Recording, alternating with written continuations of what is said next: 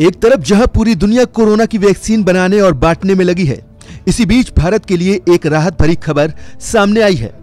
दरअसल, drugs controller general of India यानी DGCI ने कोरोना के इलाज के लिए एक और दवा के इमरजेंसी यूज़ को मंजूरी दे दी है। ये दवा डीआरडीओ के Institute of Nuclear Medicine and Applied Sciences और Hyderabad Centre for Cellular and Molecular Biology ने मिलकर तैयार की है। इस दवा को अभी 2DG यानी 2 डिऑक्सी डी ग्लूकोज नाम दिया गया है। और इसकी मैन्युफैक्चरिंग की ज़िम्मेदारी हैदराबाद स्थित डॉक्टर रेड्डीज लेबोरेटरीज को दी गई है। इस दवा के क्लिनिकल ट्रायल्स सफल साबित हुए हैं। दावा किया गया है कि जिन मरीजों पर इसका ट्रायल किया गया, उनमें तेज़ी से रिकवरी देखी गई है। साथ ही मरीजों को ऑक्सीजन पर निर्भरता भी कम हो गई। ये भी दावा है कि इस दवा के इस्तेमाल से मरीजों की कोरोना रिपोर्ट बाकी मरीजों की तुलना में जल्दी निगेटिव हो रही है।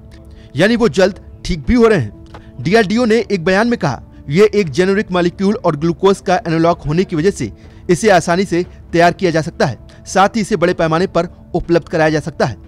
डीआरडीओ के वैज्ञानिकों ने अप्रैल 2020 में लैब में इस दवा पर एक्सपेरिमेंट किए थे।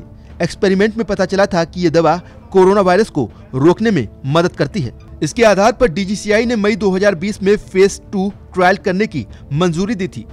देश भर के अस्पतालों में इस दवा का ट्रायल किया गया। और फ़ेज़ टू बी के ट्रायल 11 अस्पतालों में किए गए।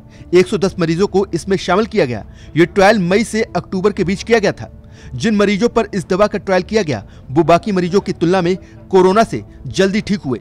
ट्रायल में शामिल मरीज़ दूसरे मरीजों की तुलना में ढाई दिन पहले ही ठीक हो गए। दिसंबर 2020 से मार्च 2021 के बीच देश भर के 27 अस्पतालों में फ़ेज़ थ्री के ट्रायल्स हुए। इस बार 220 मरीजों को इसमें शामिल किया गया। ये ट्रायल दिल्ली यूपी बंगाल, गुजरात, राजस्थान, महाराष्ट्र, आंध्र, तेलंगाना, कर्नाटक में किए गए। जिन लोगों को टू डी दवा दी गई, उनमें से बयालीस फ़ीसदी मरीजों की ऑक्सीजन की निर्भरता तीसरे दिन खत्म हो गई। लेकिन जिन्हें दवा नहीं दी गई, ऐसे इकतीस फ़ीसदी मरीजों की ही ऑक्सीजन पर निर्भरता खत्म हुई। यानी दवा से ऑक्सीजन की ज़रूरत भी कम हुई। एक अच्छी बात यह भी रही कि यही ट्रेंड पैंसठ साल से ऊपर के बुज़ुर्गों में भी देखा गया। यह दवा पाउडर के रूप में आती है, जिसे पानी में घोलकर लिया जाता है। यह दवा संक्रमित कोशिकाओं में जमा हो जाती है और वायरल सिंथेसिस और एनर्जी प्रोडक्शन कर वायरस को बढ़ने से रोकती है। इस दवा की खास बात यह है कि यह वायरस से संक्रमित कोशिकाओं की पहचान करती है। ये दवा ऐसे वक्त में बहुत कारगर साबित हो सकती है, जब देश भर में मरीजों की संख्या लगातार बढ़ रही है और मरीजों को ऑक्सीजन की ज़रूरत पड़ रही है।